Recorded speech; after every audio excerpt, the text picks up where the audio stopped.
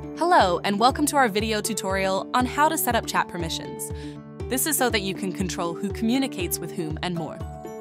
To set up your permissions, head to your chat settings.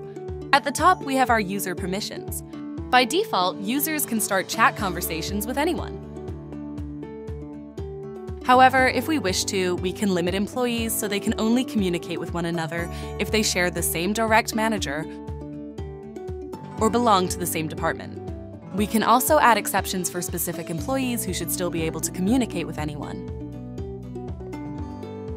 In addition, if necessary, we can add a limitation so employees can never start a chat with a specific team member. An example could be the CEO who is quite busy. Below, we can also set permissions for admins and allow them to chat with anyone or only with users in groups they administer. Finally, we can also set team chat permissions. The top option allows employees to create team chats and the bottom removes that ability. For both options, we can also add exceptions to the rule. When your permissions have been set, click on the Save button at the bottom right. Thanks for watching.